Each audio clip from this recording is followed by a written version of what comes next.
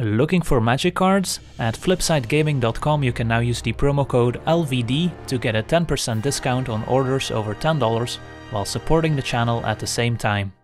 Hello and welcome to another modern gameplay video. Today we're taking a look at a deck formerly known as 8-Rack, now redubbed 10-Rack as we're playing 10 the Rack effects. It's a mono-black discard deck that uses these Rack effects as win conditions, since they deal damage based on how few cards their opponent has in their hand, and Davriel Rogue Shadow Mage is a nice addition from War of the Spark that fits perfectly in this archetype. So let's take a look at our entire deck list here, starting out with our discard, of course, at 1 mana. We've got the full 4 copies of Thoughtseize as targeted discard that can take anything that's not a land and costs us 2 life. And then the full 4 copies of Inquisition of Kozilek, that lets us take any non-land card with convert mana cost 3 or less, and then we also have 4 copies of Raven's Crime, which makes the opponent discard a card of their own choice, but it also has a retrace, so in the late game we can discard a land and replay Raven's Crime from the graveyard, and then we also have some cheap removal in the form of Fatal Push to destroy any creature with convert mana cost 2 or less, and if we enable to revolt, convert mana cost 4 or less. Then we get to some of our win conditions where we have 4 copies of the Rack, we choose our opponent as it enters the battlefield, and then on their upkeep, the Rack deals X damage to them, where X is 3 minus the number of cards in the opponent's hand. So if they have 0 cards in hand, the Rack deals 3 damage, if they have 1 card in hand, 2 damage, and if they have 2 cards in hand, 1 damage. And very similar to the Rack, it's Shrieking Affliction, which says they lose 3 life on their upkeep if they have 1 or fewer cards in hand. So it does a little bit more damage if they're holding 1 card, but it doesn't deal any damage if they're holding 2 cards as opposed to the rack. Then at 2 mana, we've got some more discard in the form of a Wrench Mind, which says the opponent has to discard 2 cards unless they discard an artifact card. So against any non-artifact based deck, this is pretty efficient discard spell. And then we also have the full 4 copies of Smallpox, which doubles up as discard, removal, and land destruction. Since each player loses one life, discards a card, sacrifices a creature, and then sacrifices a land. We also have to sacrifice a land, but of course we're not playing any creatures ourselves, so it's mostly asymmetrical and will hurt the opponent more. And then we also have one copy of Liliana's Triumph to make the opponent sacrifice a creature, and if we control one of our four copies of Liliana of the Veil, they also have to discard a card, and then also one copy of Collector Brutality as a pretty versatile removal and discard spell. And then at 3 mana we get to our Planeswalkers, where we have the full playset of Liliana of the Veil, which can force the opponent to discard a card every turn, and can also double up as removal, making the opponent sacrifice a creature, and the ultimate can also be game winning.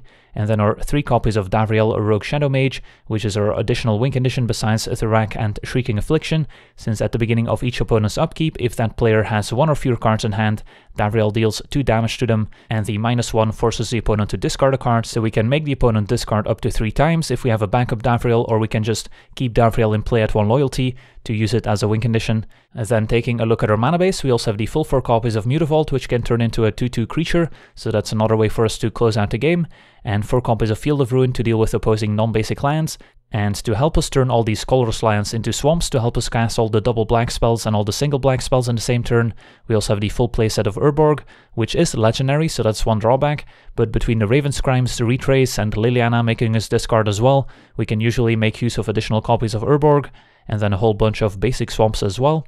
Then taking a look at our sideboard, we've got two copies of Nihil Spellbomb as Graveyard Hate, We've got three copies of Asylum Visitor, which shines in the control matchups. Once we take out some of our dead removal spells in the main deck, we can replace them with Asylum Visitor. The opponent might also have taken out most of their removal, and that means the Visitor will stick around and provide a ton of card advantage, as well as helping us pressure the opponent. We've got two copies of Plague Engineer as a new addition from Modern Horizons, which is great against any tribal creature strategy. We've got two copies of Bontu's Last Reckoning as a powerful sweeper effect for just 3 mana, one Cry of the Carnarium, which is another sweeper that also exiles any creature that dies to it, and then we also have one copy of Ashiok, which prevents the opponent from searching their library with various effects. It doesn't stop the search from Field of Ruin, but it does stop opposing fetch lands, and it also doubles up as Graveyard Hate, and then also the full 4 copies of Leyline of the Void as a very powerful Graveyard Hate card. So that's the deck, now let's jump into some games and see how the deck does. Alright, we won the die roll, but I'm gonna put the opponent on the play. Theory being that we want to empty the opponent's hand as quickly as possible, so letting them draw an additional card goes against our game plan. Definitely times when that can come back to bite us, but uh, we'll try it out here. Alright, so what do we think of this hand? It's not very good. Triple Liliana, only one land. We'll try to go to 6 here. Alright, this one I can get behind. And don't need another swamp. So we've got our turn 1 Inquisition, turn 2 Brutality, and a win condition with the Rack. It's going to be a tap to Blood Crypt from our opponents. Let's have a look with Inquisition. And looks like we're up against the Hogak Vengevine deck here.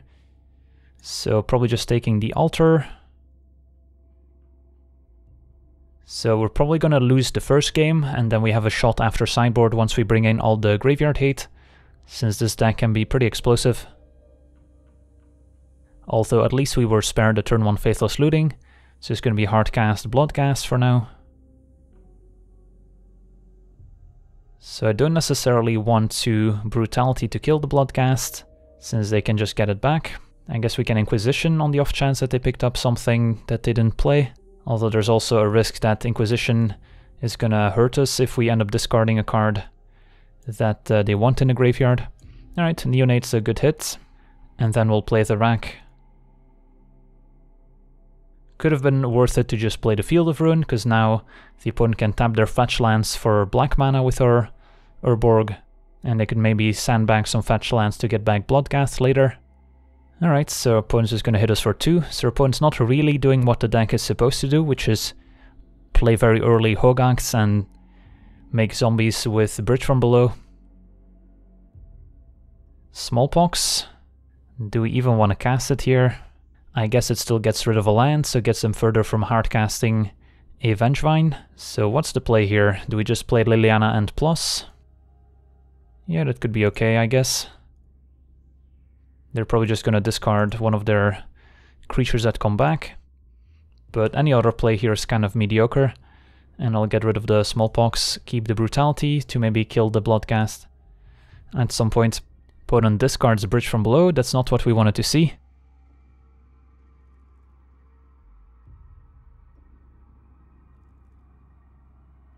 Swamp the draw, so what are we doing here? Do we want to escalate our brutality for some reason? I guess I'll start by using Field of Ruin to kill their Blood Crypts, get a Swamp, and then I'm gonna Brutality just to drain for two. And plus Liliana once again. We are kind of helping the opponent by making him discard, but as I've said, we're probably gonna lose game one anyway, and then hope to get a better shot after sideboard once we bring in all the graveyard hate.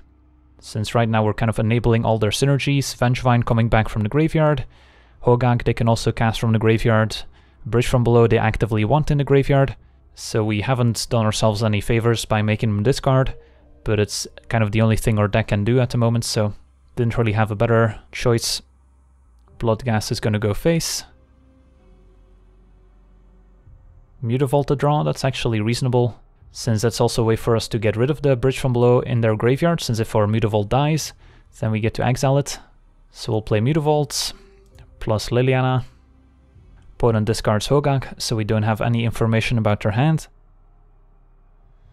The rack deals 1 damage.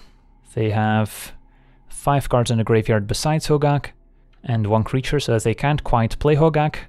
Opponent sacks the Bloodstained Mire for a Blood Crypt, which is going to be tapped and Gravecrawler. So now they might be able to play Hogaak, convoking, tapping Gravecrawler and Bloodghast, of course the fetch land, putting an extra card in the graveyard, and uh, it's going to be difficult for us to deal with the 8-8 Trampler. Do have a Liliana in play, but opponent has two creatures, and the Vengevine's also going to come back, so they had just enough to save the Vengevine from getting exiled. And yeah, the Vengevine can just kill the Liliana on the spot. And the fact that we have a Mutavault doesn't matter anymore. So Vengevine attacks. Do we want to chump block for some reason? I'll just let her die. And we're gonna be dead in a turn or two. And then we get to go to sideboard, where we get to bring in quite a few graveyard hate cards. Davriel makes them discard. So they will be taking 4 damage here from the Rack and Davriel. But that pales in comparison to the 16 damage our opponent's gonna deal us. So let's see here. The two powered creatures are going after Davriel, so we can't save Davriel even if we sacrifice a Mutavault. And then we would be taking 12. Even if we chum the Vengevine, I don't think that helps much. I don't think we have any outs with our opponent still at 10 life. So let everything happen. Like we can attack them for 2 with our Mutavault. The rack only deals 1 damage. And Shrieking Affliction isn't gonna help since they still have 2 cards. So yeah, I think we can pack it up. Alright, let's go into our sideboard here where we have 2 copies of Nihil Spellbomb, Ashiok, four Leyline of the Void, and then Cry of the Carnarium could also come in handy. Do we want Bontu's Last Reckoning? It could be okay if they manage to put a Hogaak in play before we get our Graveyard Hate online. Um, Plague Engineer can also get rid of zombies, so it's also a consideration. What don't we like? Fatal Push can kill some 1-drops, but overall is pretty weak. Smallpox also isn't great, since their opponent can function on very few lands. Liliana's also pretty poor. And what else is bad here? Liliana's Triumph isn't great. Brutality also doesn't do much, so we do have quite a few dead cards. Raven's Crime is also pretty risky, but we probably want to keep some amount of discards just to make our different rack effects functional. And then we'll bring all these cards in. I guess we'll bring in two Plague Engineers. So it's either a Reckoning to deal with Hogaak, Fatal Push to deal with maybe a Carrion Feeder that gets out of hand, could play the Smallpox anyway in the hopes of kind of mana screwing the opponent. Or we could play some of these Edict effects, but they likely have some random sacrifice fodder in play anyway. I think I'll go with the Reckonings and give this a shot. And I don't think the Asylum Visitor is really what we want in this matchup. And do we want to be on the play? That's an interesting question. We're going to basically be mulliganing towards our Graveyard Hate anyway, so at that point it doesn't really matter who's on the play. Yeah, I think I'll let my opponent be on the play. And yeah, this is a keep, a double Leyline of the Void, so even if they have one way to deal with an enchantment, we have a backup copy. And then Affliction plus Raven's Crime should get the party started.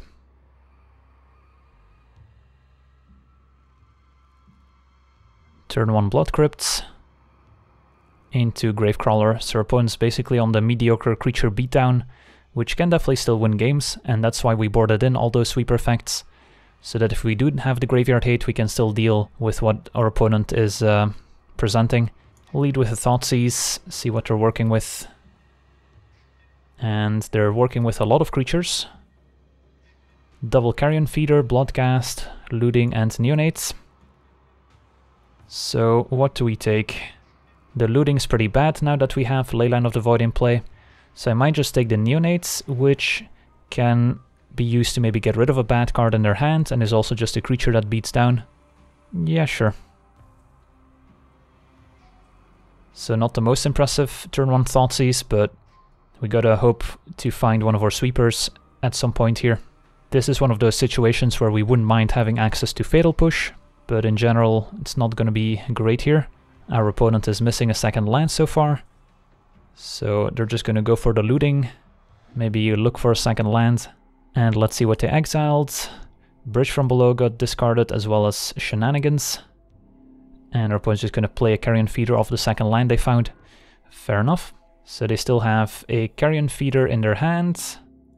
And I think a bloodghast, which they're gonna try and hardcast. Another Field of Ruin doesn't do us any favors, so we'll Raven's Crime them. And then we could retrace the Raven's Crime, but it's probably better just to get the Shrieking Affliction in play, so we start clocking the opponent as well. And right now we would be racing 3 damage for 3 damage basically, and our opponent took a bit of damage off their lands. So yeah, we'll get the Affliction in play, and then we can start retracing Raven's Crime to make sure our opponent's hand stays small, so the Affliction damages them. Opponent got rid of the Bloodghast, so they still have a Carrion Feeder in hand. Now that they have two creatures to sacrifice to the Carrion Feeder, if we draw of the Carnarium for example, they would be able to get a feeder out of range. Another swamp. Opponent's empty-handed, so no point in retracing the Raven's Crime. Uh, do we bother Field of Ruining them? I guess I will. It does make it less likely that the opponent draws one of their basics as their draw step, but it might also mess up their mana in the long term, since we have a second Field of Ruin incoming. So I'll kill the Blood Crypts. Get a Swamp. It also decreases the chances that we draw a Swamp for the turn, so thinning out our deck is also relevant. Well, their opponent did get a forest, so now they can cast their green spells. I doubt they have two basic forests in there, but it might be for Vengevine hard casting. So we'll take four. So pretty even race so far. Both at 9 life, gotta hope to find something relevant. And Plague Engineer is pretty excellent here. So we can name Zombie, opponent sacrifices both zombies to the Carrion Feeder, but now we have a 2-2 Death Touch in play. I guess we can also retrace the Raven's Crime here. Discarding a Swamp, and then we'll play our Engineer. Alright, so we managed to deal with their graveyard. We managed to deal with their creatures. And we have a Shrieking Affliction as our win condition here. And our opponent packs it up. Alright, sweet. So on to game 3. Gotta hope for a very similar hand in game 3 basically. I think I liked our sideboard plan. Just hope to hit them with the Graveyard Hate and then we've got all these sweepers to clean up the small stuff that they're left with. Alright, what about this hand? No Graveyard Hate, but we do have a Cry of the Carnarium, which can exile some number of creatures. So this is a close one. Opponent already went to 6. They might be looking for a way to deal with our Graveyard Hate as well. I think this hand is probably good enough to keep, even though we don't have any Graveyard Hate. Hopefully we can find some of the cheaper Graveyard Hate along the way. And of course, Cry the Carnarium, if it lines up well, can also be pretty devastating. Turn 1 Blood Crypts into Neonates. So we'll lead with the Inquisition. And our opponent has Nature's Claim to deal with Graveyard Hate as well as Assassin's Trophy. So this hand was very reactive in terms of dealing with hate, but it just doesn't do much by itself. Bloodghast, we could sweep up with a Cry. So what are we even taking? I guess Assassin's Trophy as the more relevant of the removal spells.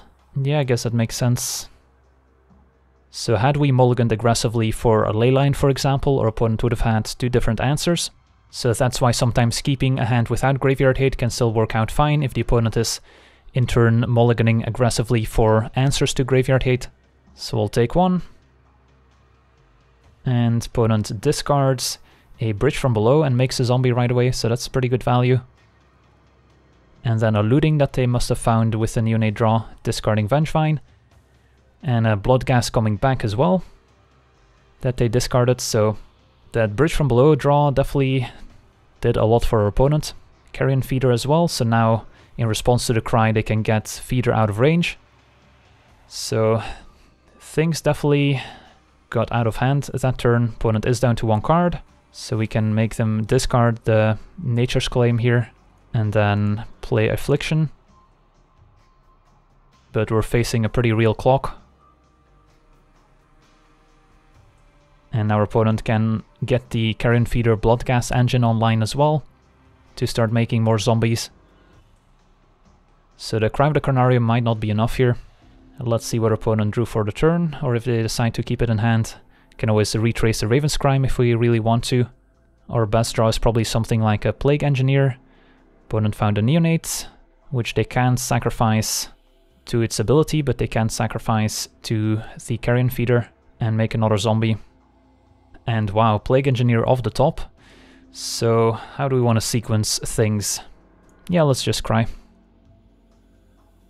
And then hopefully the Engineer can uh, help us out once the dust settles. So opponent sacrifices Bloodghast to Carrion Feeder, putting a counter on it, making a zombie. The zombies are gonna die, but they can of course sack those to the Carrion Feeder as well. Opponent sacrifices neonates, makes a zombie. Carrion feeder grows. And then we'll probably see them sacrifice all the zombies to the carrion feeder, make it even bigger. And then Plague Engineer can hopefully trade off thanks to Death Touch. So there's a lot going on here, but at the end of the day, our opponent's left with a 6-6 carrion feeder and still has a Bloodghast and a bridge in the graveyard, which are both problems. Affliction puts him to 12. We're gonna take at least 6 which means now the Bloodghast will also have haste if they find a land. And next turn we could retrace, but it looks like our opponent's going to play out their last card, which was a Stitcher Supplier, Milling, Neonate, and two lands. So Plague Engineer naming Zombie. Opponent can sack the Supplier as well to the Carrion Feeder, or they can just let it die and get a 2-2 Zombie from the bridge. So we will play the Engineer here, naming Zombie, And then our opponent can sacrifice the supplier to the carrion feeder to make it one bigger. But then once we trade off the Plague Engineer for the carrion feeder, our opponent will still be left with a bunch of zombies that will now be 2-2 again. So still don't love our position. That turn where the opponent drew the bridge was pretty bad for us. So we'll name zombie. And say go. At least we do have a Mutavault as well that can help out. And then we gotta hope to draw more Shrieking Affliction type effects to speed up our clock. Gravecrawler comes back from the graveyard, dies instantly to the Plague Engineer, but our opponent still gets a zombie from Bridge. If we manage to trade off Plague Engineer for Carrion Feeder, the Bridge will also get exiled, but our opponent will still be left with a whole bunch of zombie tokens. That now will be 2-2 again. So yeah, not a great spot to be in. Gotta basically draw another sweeper effect to clean up all these zombies. And then we still have an entire graveyard to deal with. Gravecrawler comes back once again, now that the Plague Engineer is gone, it gets to stick around. Vengevine comes back since our opponent casts two creatures. We can retrace the Raven's Crime. Discard another bridge, didn't want to do that. Alright, so we can block with our Mutavault, and then still take 8. So we did get our opponent down to 6, but yeah, as you can see, without Graveyard Hate, the matchup is pretty difficult to win. So yeah, really needed to draw a piece of Graveyard Hate in the meantime. Alright, on to the next one. Alright, we're on the draw. What do we think of this hand? Do have a Thought Thoughtseize, a Fatal Push, a Rack, and an Affliction. Only one land, but I think we can keep. We're on the draw, so we're pretty likely to find a second land at some point. And we've got all the things we need. Alright, Swamp. I think I'll lead with a Swamp over Urborg in case this helps them out. And then we can lead with the Thought Thoughtseize see what they're working with. And they have Opt, Mana Leak, Spell Snare, Essence Scatter, so they seem to be a mono blue deck, maybe a Delver deck, featuring the new triple blue instant. So we don't care about Essence Scatter. I guess Mana Leak is the card we care about the most. And then Spell Snare doesn't counter or one drops. Sure. Opponent fires off the Opt. We've got plenty of answers to creatures. So if they ever do find a Delver, we're fine. And next turn we maybe get to just play Rack plus Affliction. I guess I would rather resolve the Rack right now, since they still have a lot of cards in hand. Alright. So now we need to find a way for them to discard cards. So Liliana, Davriel, those would be great. Even a Raven's Crime could be okay. Mutavault is also decent. Do we want to Brutality the opponents? I guess that's fine. Trade it for a Spell Snare and our opponent packs it in. Alright, on to sideboarding against the mono blue. How do we want to approach this one? Don't exactly know what their win conditions are, but I assume Delver of Secrets is one of them. Do we want Plague Engineer? Probably not. I, I think I do like Asylum Visitor. That seems like a fine addition, as I don't expect a ton of creature removal. Probably want to chill on the smallpoxes a bit if we bring in the Asylum Visitor. And I don't expect too many creatures. We still have Liliana Brutality, Triumph, and Fatal pushes to deal with smaller creatures as well. Can always add a Nihil Spellbomb, maybe disrupts a Snapcaster Mage. Could be fine. I think I like everything else. Alright, we'll try this. Alright, we're on the draw with a reasonable hand. We've got a turn 1 Inquisition, the Rack has one of our win conditions, and then also a Mutavault, which is pretty important. Field of Ruin probably doesn't have a ton of targets in this matchup, is my guess. Wrench Mind could be pretty good too. So we'll have a look. Gets Flusterstormed, the new addition from Modern Horizons. Alright, that's gonna counter the Inquisition. Hopefully Wrench Mind resolves, although they could have a Spell Snare to counter it for one mana. Opponent is stuck on one, so that kind of makes it even more likely that they have a Spell Snare. So it might be better to just Raven's Crime them twice, discarding Field of Ruin. Discards Cryptic Commands play a swamp, retrace, discarding Field of Ruin, and discards the new charm. Alright.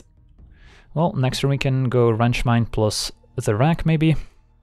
Opponent does find second islands, and Spreading Seas or Swamp. Alright, so now we're unable to play Wrench Mind, and unable to play Liliana, so that's a bummer. But we draw a Swamp anyway. Alright, this is going to be pretty good. Discard 2, play the rack, deal 2 damage, still have a Mutavault and a Liliana in hand. And we protected the Mutavault from the Spreading Seas as well, which is relevant. Discards Mana Leak and Island. So I guess your opponent drew an island from the Spreading Seas and discarded it. Makes sense. Well, now we've got a win condition in play. We're about to drop another one. Second Spreading Seas. They might regret that once we play Mutavault, although now we're unable to play Liliana. More swamps. I don't really want to play Swamp and then discard our Mutavault, so I think we'll just play Mutavault and then say go, and then next turn we can play Liliana maybe. Serpent only takes one here. Still better than if we had a Shrieking Affliction in play, otherwise we wouldn't have dealt any damage. So do we just attack with the Mutavault here and then play Liliana? I think that's probably safer. Although if they have something like a Spell Pierce, playing Liliana first could be better. Alright, I guess we'll play Liliana first. And gets mana leaked. Can't pay for it. But we can attack for two. And then we can keep the swamp in hand for retrace. So we still get a good use out of it. So don't hate our spots. If we ever draw one of our more expensive cards, we've got plenty of lands in play. Happy to draw more discard, more rack effects, and we can always use lands with our Raven's Crime. So we'll start by retracing.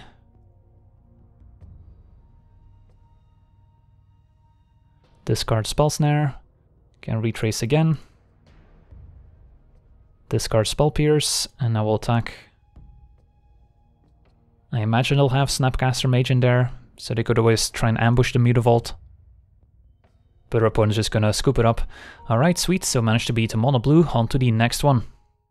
Alright, we won the die roll, but I'm gonna put my opponent on the play, and this seems like a keeper.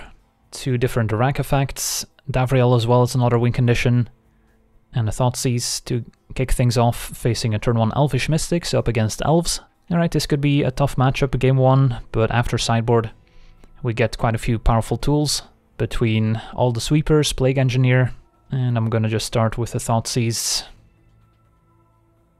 Maybe take away one of their lords.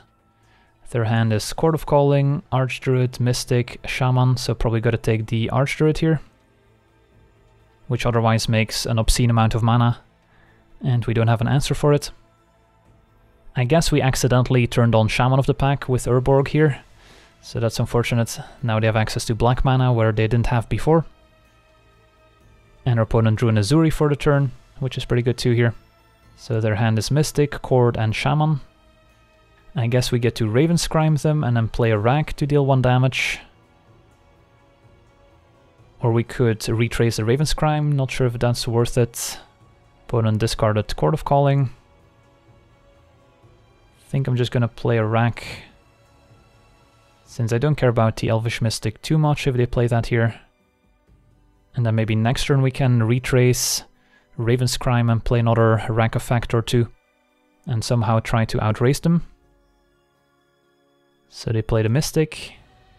And it's gonna be Dwynen's Elite, that's a good one. That's gonna power up the Shaman, although we can discard the Shaman with maybe a Davriel or a retrace on Raven's Crime. Not sure why Ezuri didn't attack. Fatal push the draw.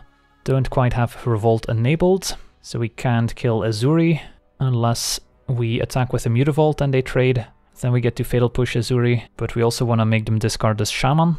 Not sure if it's better to play Davriel or retrace Raven's Crime here. The appeal of playing Davriel is that we don't have to discard our land yet, and we soak up a bit of damage. Although being able to retrace and then play Rack deals a bit more damage. I think I'm gonna play Davriel. Opponent's gonna take 5. And then next turn we can unload our hand.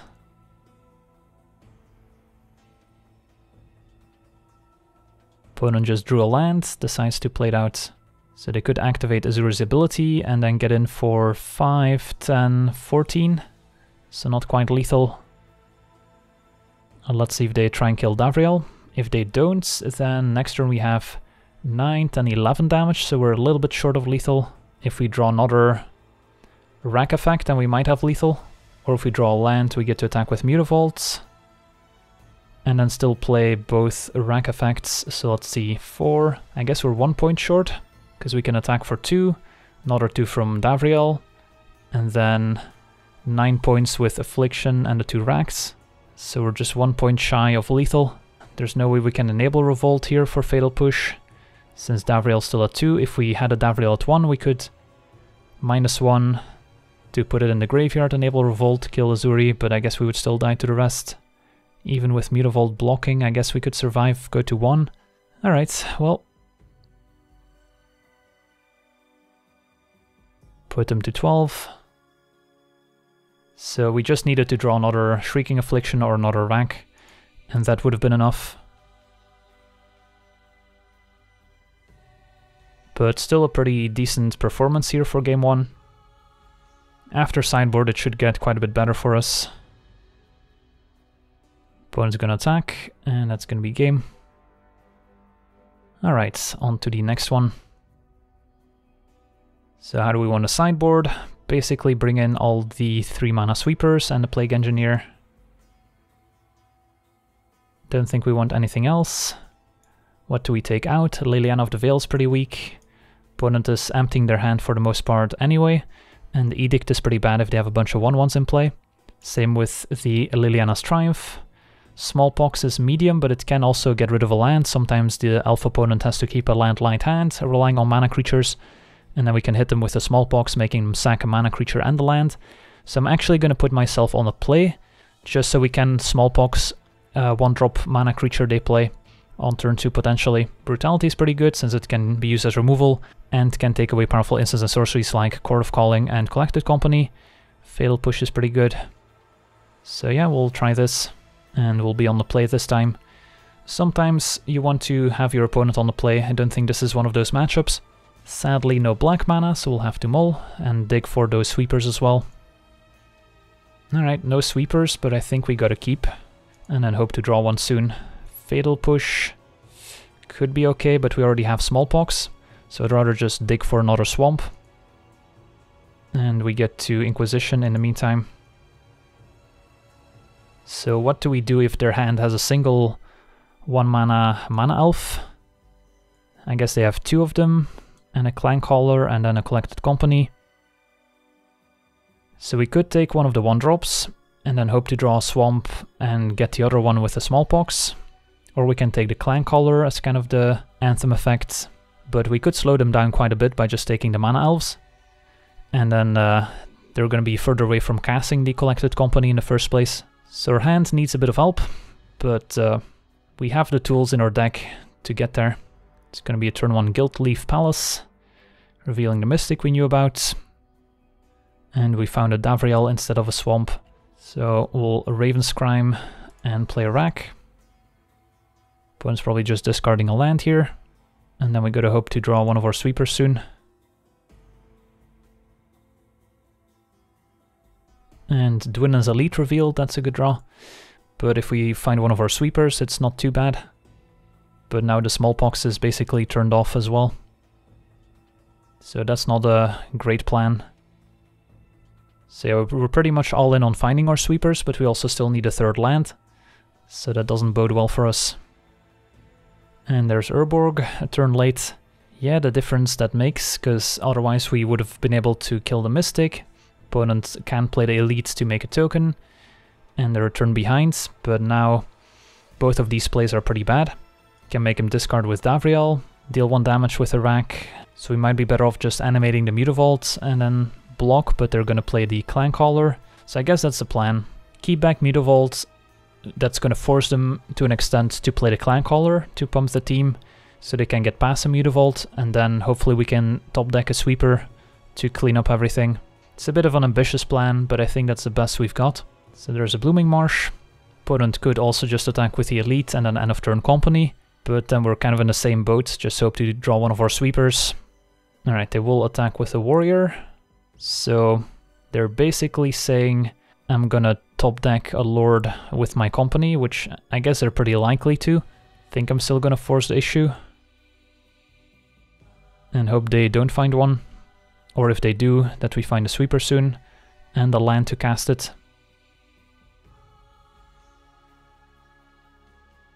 Alright, there comes the company. Let's see what they hit. Shaman of the Pack and a Dwynen's Elites. Alright, that's a lot of damage. But we will get to kill the 1-1 at least.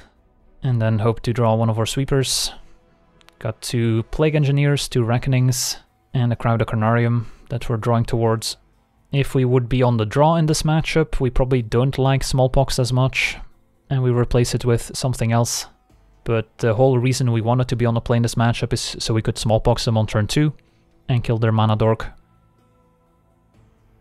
Inquisition can take the Clancaller. Third hand is Heritage Druid and Clancaller. We'll take Clancaller. And uh, say go. So how much damage are we taking? 5, 6, 7, 8, 9. And we can block a 1-1 with the Mutavaults, so I guess only 8 damage, and then again we gotta hope to top deck. Opponent drew an Archdruid off the top, that's unfortunate. So do we have to chump block? But if we have to chump block, then we can no longer cast our sweepers. 10, 11, 12, 13, 14. Yeah, we have to chump the Shaman of the Pack here. But then I don't see ourselves uh, getting out of this.